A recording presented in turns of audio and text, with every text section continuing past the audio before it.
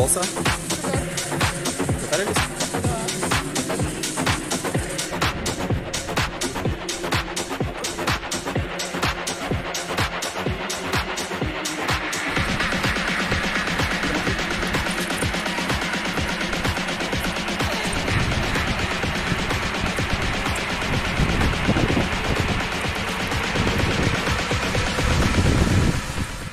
Очень бюджетные цены. Капучино почти пол-литра. 150 рублей.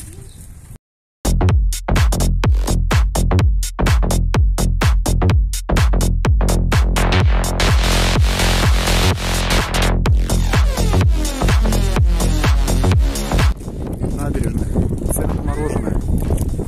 Полкило 185 рублей.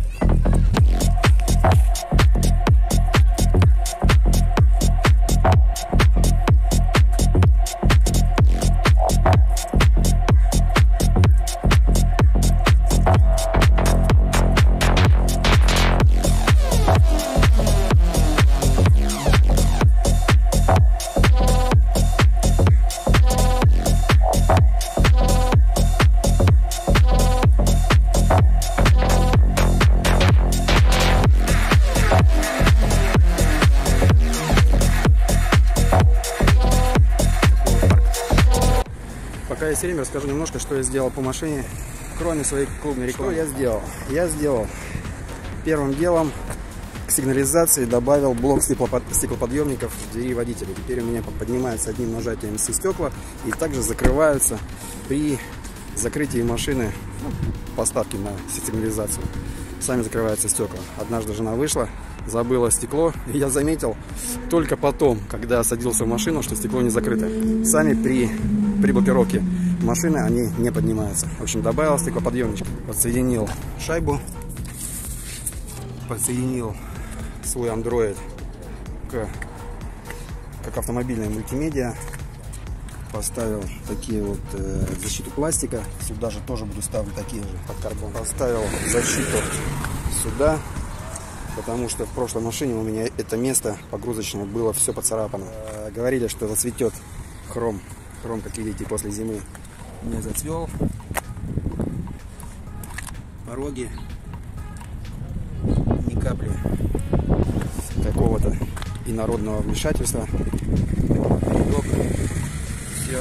Сейчас закрыл временно кожу руля чехлом. Сюда буду ставить, обтягивать кожей тоже под цвет, поскольку дермантин стоковый мне не подошел. Я взял специально тканевый элит, чтобы обтянуть их кожей. Сюда поставлю тоже карбоновую защиту пластика. Тоже у меня на прошлой машине дети все это повыцарапали. Поставил дефлекторы. Что почем?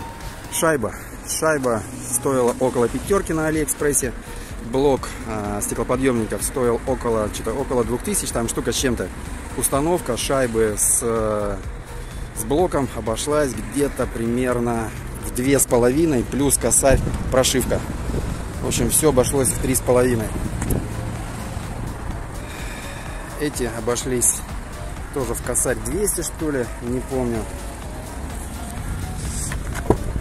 Это защита хромированный металл. Тоже что-то, по-моему, две с половиной комплект. Это защита металлическая с карбоном. Тоже Алиэкспресс. На все четыре двери. Тоже обошлась где-то, блин, полтора косаря, что ли. Поставил стекло, защиту мультимедиа, бронь. Поставил кожаную оплетку. Да, стекло. Стекло дорогое, что-то тоже около штуки стоило. Оплетка фиг знает, тоже там при, меньше тысячи. Ну, такое состояние двигателя после зимы.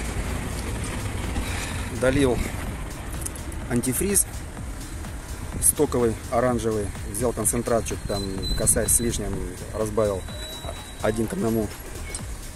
Масло, распродажа, э, тоже там полтора косаря, взял сразу же на две замены. Фильтр что-то там около косаря. Поставил такую вот фигню, чтобы стекломывайка не проливалась. Чуть-чуть она рублей 500.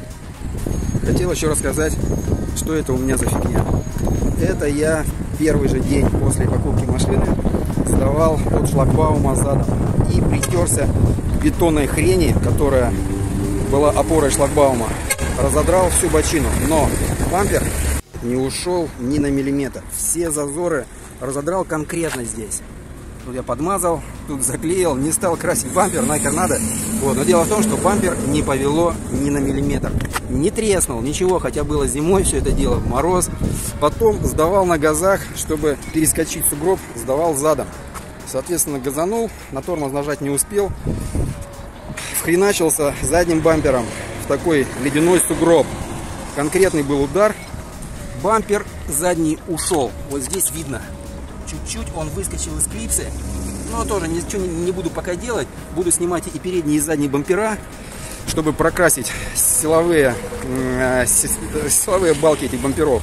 И тогда уже подгоню и этот бампер по, по клипсам. Где-то там просто в этой части вылетела клипса. Но факт то, что он не лопнул. Как говорили, хрупкий пластик. Все это, ну, блядь, рассказы, я не знаю, я конкретно, конкретно втемяшился этим бампером.